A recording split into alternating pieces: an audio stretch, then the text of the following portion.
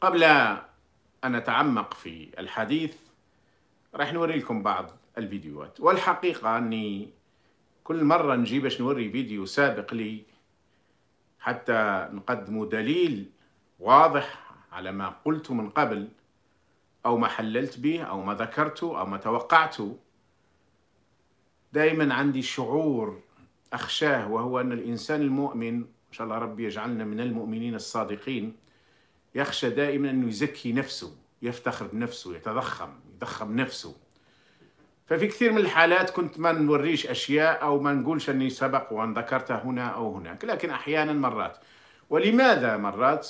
لأنه أولا مرات تقديم الأدلة لأن الناس تنسى وخاصة في جو في كثير من الفيديوهات والاتصالات والقنوات وعالم مليء بالأحداث. والأمر الثاني هو أننا أمام عصابة لديها مئات الآلاف بدون أدنى مبالغة من الذباب. الذباب الآلي والذباب الإنساني أيضا البشري اللي تقوم بالخداع بالمكر بقلب الحقائق بتقويلنا ما لم نقل بإخفاء ما قلناه حقيقة إلى آخره.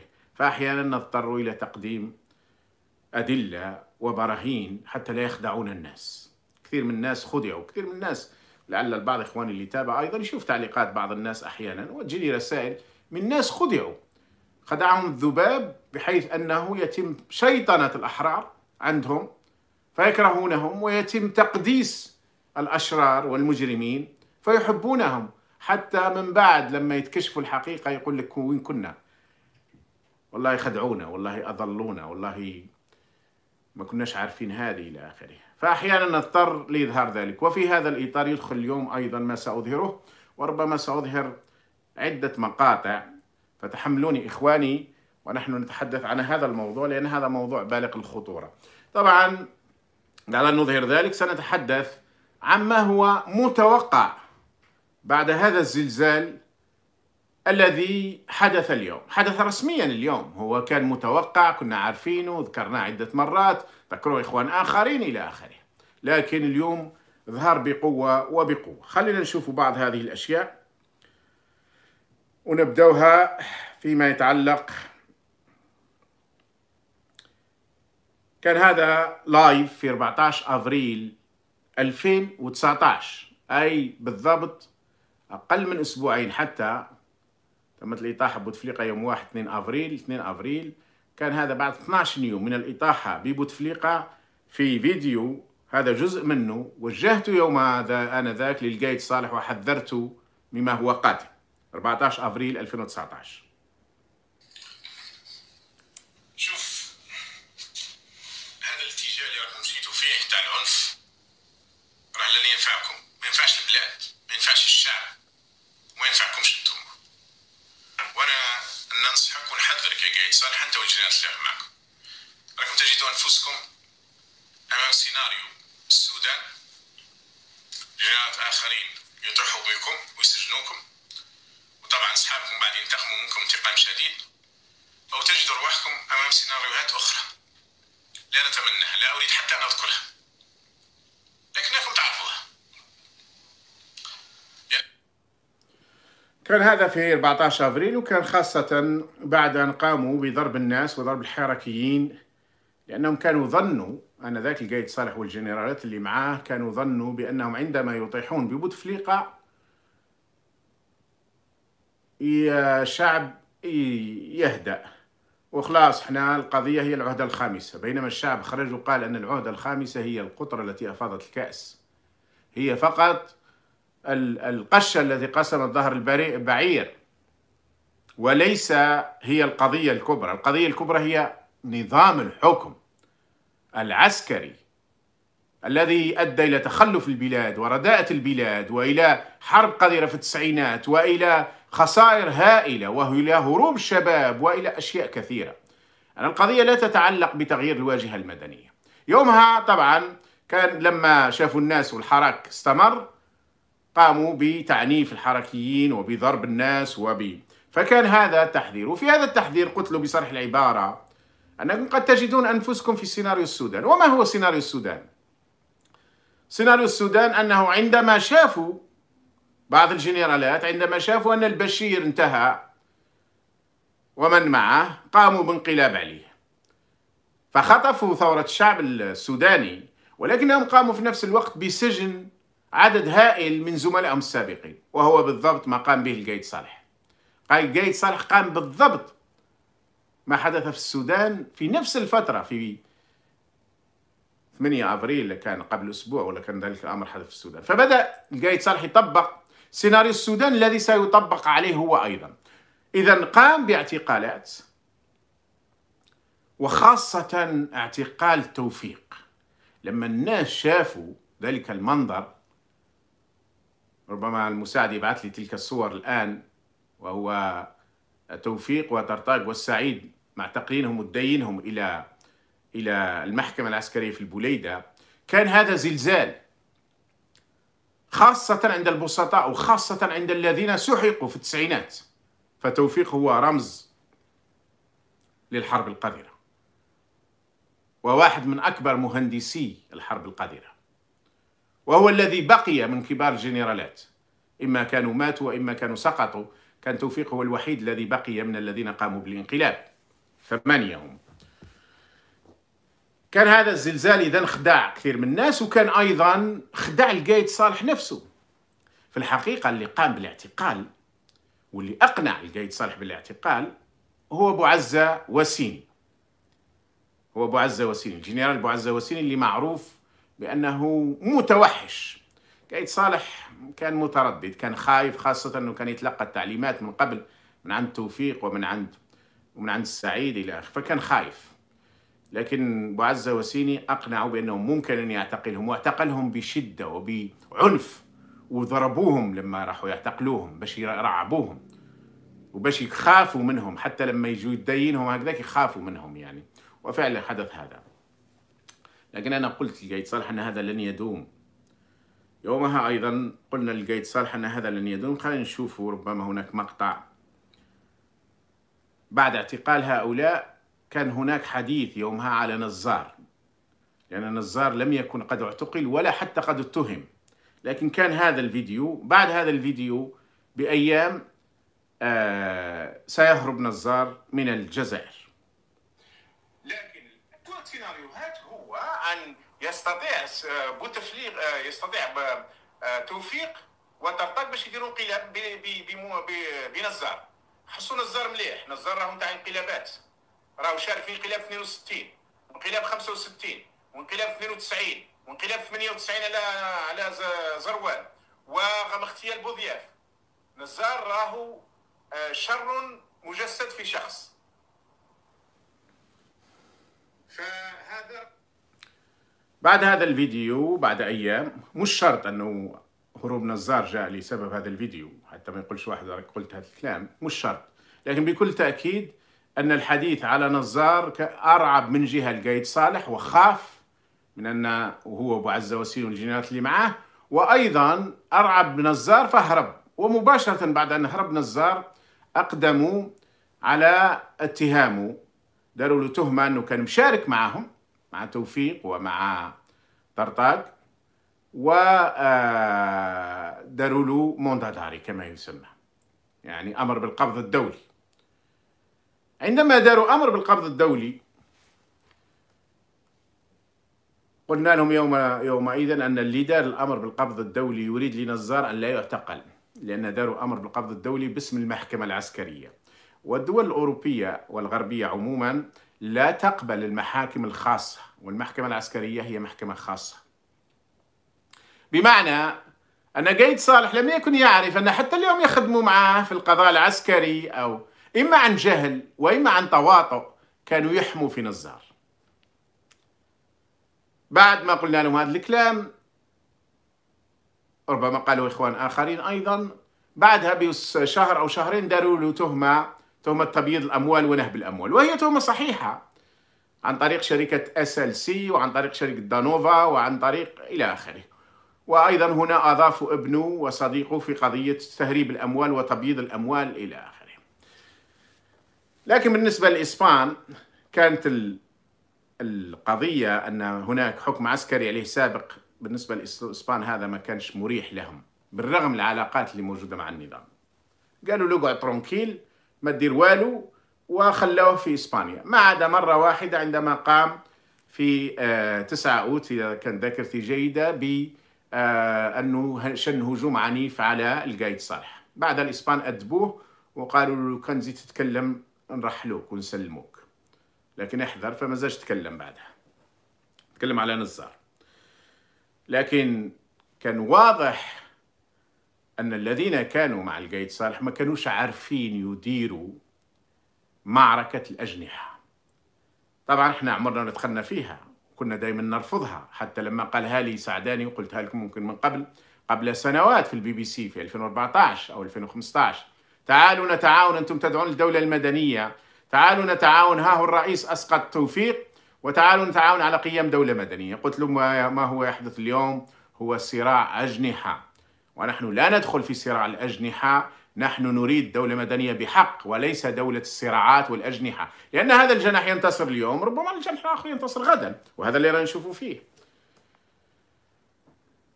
ولذلك أيضا كانوا بعض إخواننا حتى لما أراد القايد صالح أن يرسل نسيبه وبعث لي واحد إخواننا وقال لي راه جاي نسيبه آه، أو بن في الحقيقة عنده قرابة به يعني أعتقد أنه قايد صالح هذا اللي كان جايني هو راجل خالته أو قال لي هذا الشخص. قال لي راهو جاي ويعني باش يعرضوا عليكم. تعاون يعني. قلت له لا أريد أن أستقبله. نحن لا نتعاون في الخفاء ولا نتعاون مع الأجنحة العسكرية ولا ندخل في الصراعات. نحن نسعى لدولة مدنية لنهضة البلاد. نحن نسعى لدولة القانون. نحن لا نسعى إلى سلطة أو إلى مناصب أو إلى مراكز نتحالف مع القوي ضد ضد الذي سقط أو مع الذي سقط حتى نسقط الآخر. نحن لا نؤمن بهذا. طبعا هما مرات تجيهم صعيبة أن يفهموا هذه. لأنهم من لا يملك شيء فاقد الشيء لا يعطيه ولا يفهمه. لكن كل هدفنا كان يومها نحذروهم من أن عدم إعطائك يا قايد صالح الحكم للشعب إرجاع الحكم للشعب تطبيق المادة السابعة والثامنة كما تعهدت أنت. يوم 31 مارس. وإيجاد مجموعة من أحرار البلاد للتفاوض معهم والتباحث معهم لإدارة انتقالية سيؤدي إلى سحقكم وطحنكم. خلينا نشوف بعض ما كنا قلنا لهم في هذا الإطار.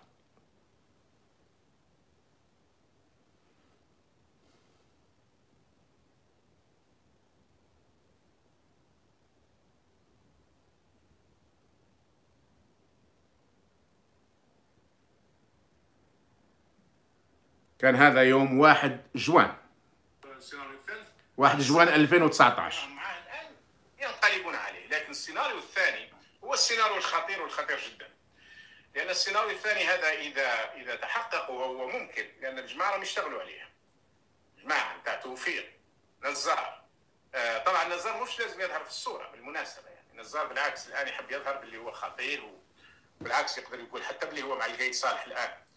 لكن نزار توفيق. آه كل المناصرين نتاع سعيد باي المناصرين نتاع رزاق شريف نتاع شنتوف نتاع سعيد بوتفليقة نتاع عبد الغني الهامل. كل هؤلاء الآن الهدف الرئيسي نتاعهم أنهم يشوفوا باللي مش معقول. يعني مش معقول أن القايد صالح وما عندهم نظرة ليه. آه سيئة جدا يعني يقولوا باللي إنسان جاهل أمي متعجرف جبان في نفس الوقت يعني. هذه نظرتهم ليه أنا كي نقول هذو كاين جنات آخرين كاين أسماء أخرى لكن حبيت نعطيكم العناوين للناس يعرفوهم. هذو هما اللي مذكورين كثير في الإعلام. هؤلاء الآن على الأرجح مش على الأرجح أنا متأكد أنهم يخططون لانقلاب إما يخططون للانقلاب للإطاحة بالمجموعة ككل اللي مع القايد صالح إذا نجحوا أو على الأقل لاختراق هذه المجموعة وضم واحد اثنين ثلاثة منها باش يقدروا يقولوا يديروا عليه انقلاب على الأرجح ثم قلت أنا متأكد أنهم يشتغلون على الانقلاب.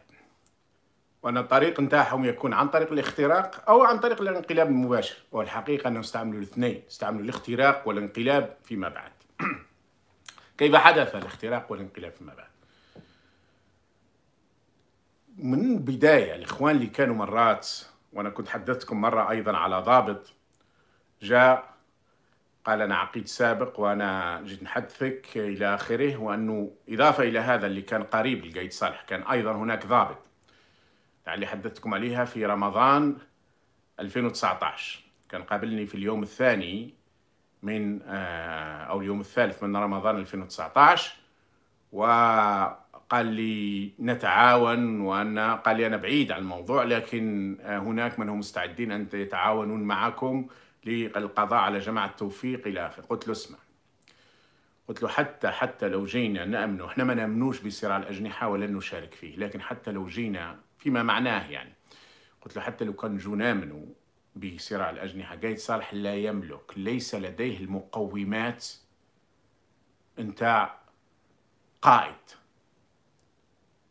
والذين معه في الغالب راهم معه إما خوفا وإما طمعا وإما جبنا. وإما هذو كلهم.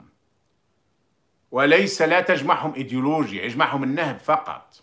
عندما لا تكون هناك إيديولوجيا أفكار تجمع الناس فإن بسرعة يتفرقون إذا ضاع السلطان أو ضاع المال أو ضاعت النفوذ أو ضاع. وبالعكس يقدر ينقلب عليك. وهم هم اللي عاشوا هذه الأحداث يشوفوا كيفاش اللي انقلبوا وانقلابات شديدة. ما كاش تجمعهم علاقات حقيقية فكرية. إيديولوجية سياسية. أقل شيء ما كانش.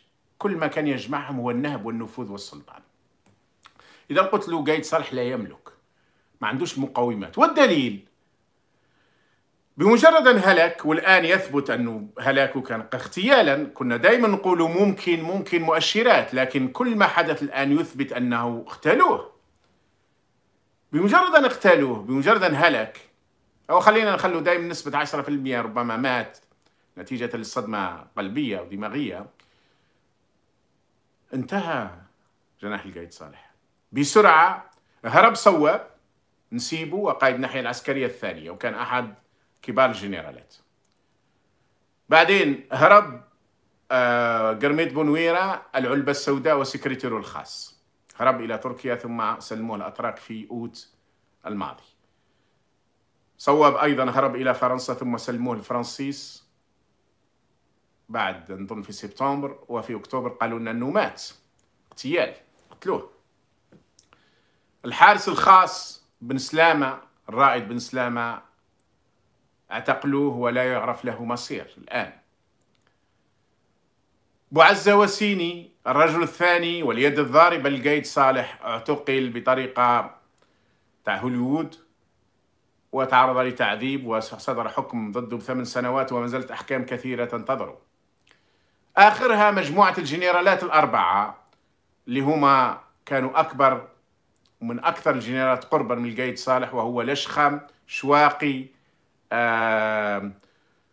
عكروم وتبوديلات وكلهم الآن متواجدين في السجن بعد أن مروا على مركز عنتر مركز عبلة للتعذيب. وانتهى القايد صالح. بقى بقى باقية شوية بعض الجنرالات وبعض العقداء كلهم راهم يصفوا فيهم الآن. والقادم في التصفية هو بعض الوزراء وعلى رأسهم زقماتي. زقماتي سيتم الإطاحة بحكومة جراد في الأيام أو الأسابيع القادمة وأنا أرجح الأيام القادمة. ومن بين الرؤوس اللي طبعا سيتم الإطاحة بزقماتي. ما يمشحني يعتقلوه مباشرة يخلوا له شوية وقت. هو وميهوبي وبدوي ومجموعة راح يخلوا لهم شوية وقت. وبعدين يعتقلوه. لأن هذا عندهم حسابات أخرى يعني. لكن في النهاية سيتم طحن جناح القايد صالح طحنا. كلية. الآن راهو تقريبا انتهى. خروج توفيق اليوم أو تبرئته الرسمية نحن نعرف أنه كان خارج قبل وقبل بكثير. خلينا نشوف أيضا في هذا ما كنا قلناه من قبل. ومرة أخرى قلت لولا أن هناك الذباب يكذب على الناس ويقلب الحقائق ويخادع ويمكر والله ما كنت لنوري لكم هذه الأشياء ونقول لكم ها وش قلنا من قبل. لكنها ضرورة أحيانا تدفعنا لذلك.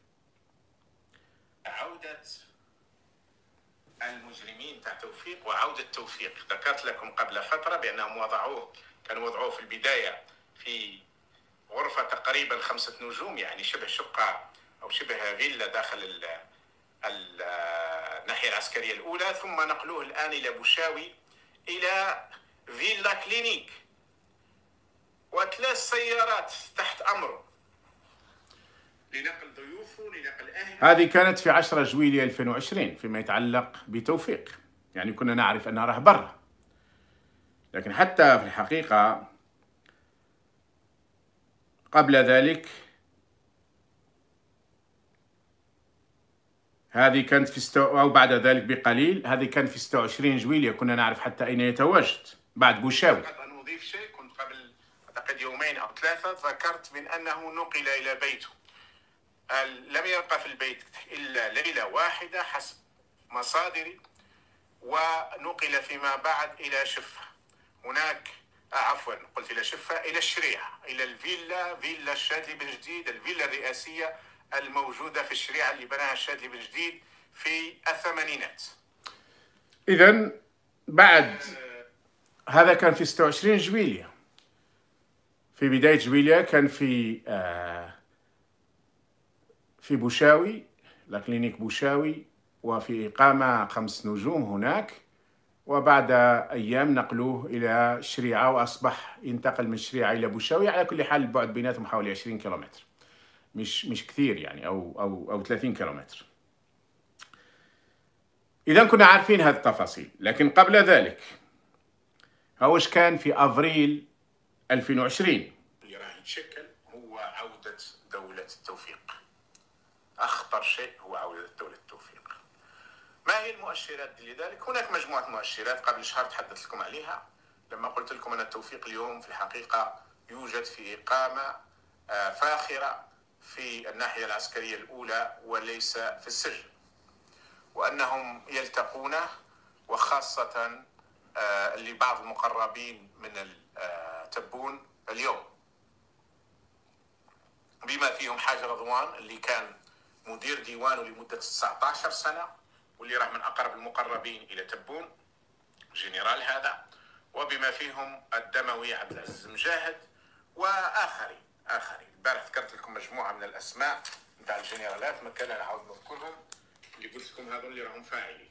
لكن اللي ذكرت هذه كانت في 14 ابريل 2020 وحديثي يومها عن عودة دولة التوفيق. نظن كان حتى العنوان الرئيسي اللي اختاره فيما بعد المساعد هو هذا. عودة دولة التوفيق.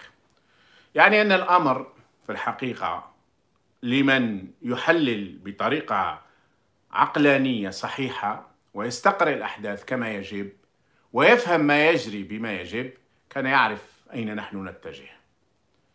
ثم شفنا مؤشرات كثيرة لذلك أيضا بما فيها ما كان حدث في فرنسا وحتى في أماكن أخرى عندما بدأت الصراع يظهر وكأنه صراع إسلامي علماني والنفخ فيه وشيطنة بعض الناس و و هذه كلها أدوات توفيق نعرفها. نعرفها. توفيق ونزار اشتغلوا على خلق صراع علماني إسلامي على خلق صراع ما بين الطبقة المدنية السياسية. ولذلك في 92 سارع سعيد سعدي وأمثاله إلى دعم الدبابة رحم الله الدبابة التي حمت الديمقراطية كما قال أحدهم. لكن الحقيقة أن المعركة الشعب الجزائري كانت دائما وحتى قبل الاستقلال. وذكرناها أكثر من مرة أن مقتل عبان رمضان رحمه الله كان بسبب السبب الرئيسي هو أنه دعا إلى سيطرة السياسي على العسكري أو أولوية السياسي على العسكري. أي المدني على العسكري. وأنه منذ 62 بعد انقلاب صيف 62 كان العسكر يريدون تثبيت دولة عسكرية.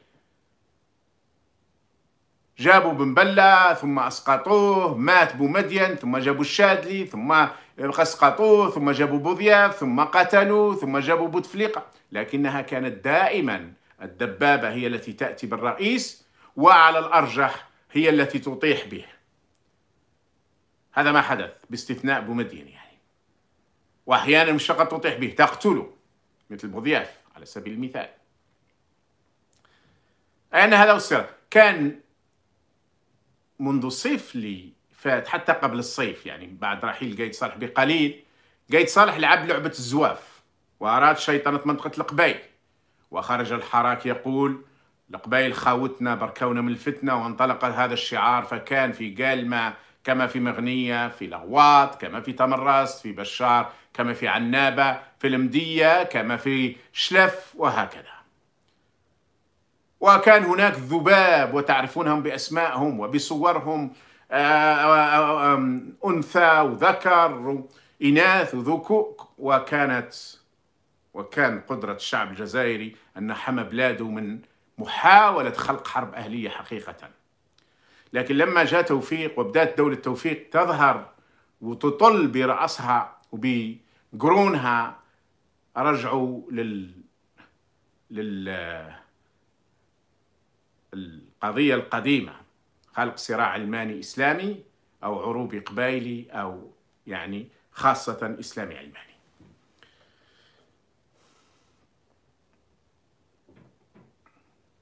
درك نقول باختصار بسيط يعني دون دون أن أريد.